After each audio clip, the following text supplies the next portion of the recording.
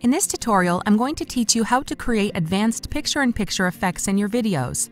You'll learn how to pan and zoom within your video overlays, how to adjust color, and how to keyframe the movement of your PIP windows. Before we get started, if you're watching this video on YouTube, you'll find a link in the description below that will take you to our tutorial page on the Discovery Center. Here you can download a written copy of this tutorial to follow along. Let's get started. In this first example, I want to add a PIP window of a man skiing over top this mountain video. I have already added the background video I want to use to the video track on my timeline. Now I'm going to drag this video I want to use as an overlay onto the overlay track. I want to add a pan and zoom effect to the overlay so it zooms up on the man skiing as the video progresses. To do this, I'll double-click on the overlay on the timeline and from here, click on Apply Pan and Zoom. You can select any of the pan and zoom presets from the drop-down menu. You can click Customize to adjust the pan and zoom preset you've selected. I'm going to click on Customize. From here, I'll make sure the first keyframe is selected. And then I can click and drag the red highlighted cross icon on the preview pane to adjust the starting position of the video. I can also adjust the size of the window by dragging on the yellow nodes. Then I'll click on the end keyframe and again adjust the position of the window to zoom up on the man to indicate where we want to position the final frame. We can press play to preview and then click OK once you're happy with it. Now let's click on the Color tab to make some adjustments to the overlay color. This will be useful if your overlay clip doesn't match the color tones of your background. For example, if the background is really washed out and the overlay is really saturated. We can adjust any of the color grading controls to ensure both clips match. In this example, the video of the man skiing is a lot cooler in tone than the background video. So I'm going to click on White Balance and select the Overcast preset so the video is warmer in tone. I'll also decrease the exposure of the video. And now let's press play to preview, and you'll see how our videos match much better in color and tone, and we have a nice pan and zoom of the man skiing within the overlay.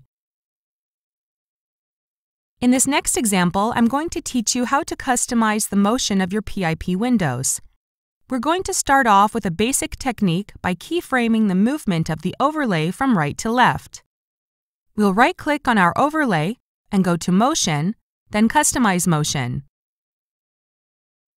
From here, I'll click on the end keyframe. And then I'll click and drag the PIP window on the preview pane to the left of the screen. Now, when we click play, you'll see the PIP window moves from the right to the left as the video plays. But for this video, I want to try something more advanced, so I'm going to click on Reset. Now I'll click on the first keyframe and then readjust the size and position of the overlay on the preview pane so that it is large and centered in the middle. Then I'll right-click on the first keyframe and select Copy and Paste to All. I want the video to remain in this position for a few seconds, so I'm going to drag the scrubber a few seconds in and then click the Add Keyframe icon. Then I'll drag my scrubber to a few seconds before the last keyframe and click the Add Keyframe icon again.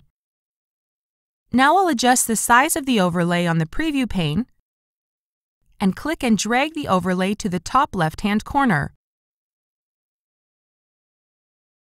I can also adjust the opacity level of the overlay to zero so the overlay slowly fades away at the end of the video. Then right-click on this keyframe and select Copy and Paste to All Right so that these attributes remain the same until the end of the clip. Now if we press play to preview, you'll see how the image shrinks into the corner of the video clip and slowly fades to blend with the background.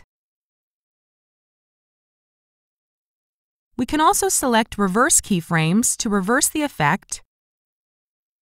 And now you'll see the PIP window fades in and expands to the center. These are a few of the ways you can enhance your videos by adding advanced picture-in-picture effects. If you're watching this video on YouTube, you'll find a link in the description below that will take you to our tutorial page on the Discovery Center. Here you can download a written copy of this tutorial to follow along and find other helpful tutorials for VideoStudio.